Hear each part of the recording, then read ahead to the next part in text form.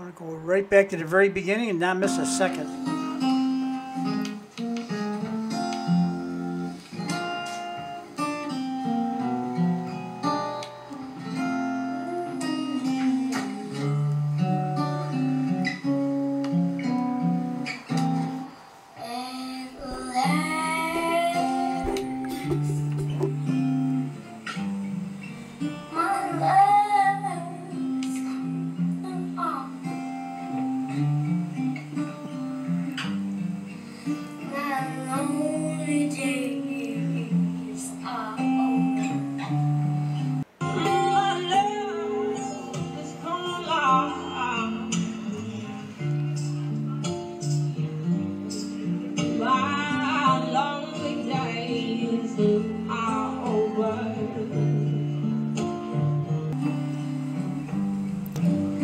Yeah.